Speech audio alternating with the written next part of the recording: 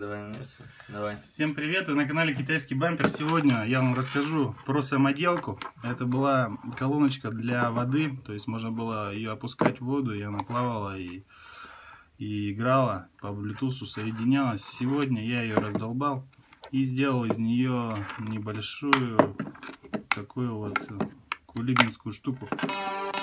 И вот и она начала играть. Мы ее подключили. Блэксерфер, салют! Вот. Янг Пим! Янг Пим Пенхас! Мы уроним этих МС! Эй, йоу, закрой пасть! такая не колоночка.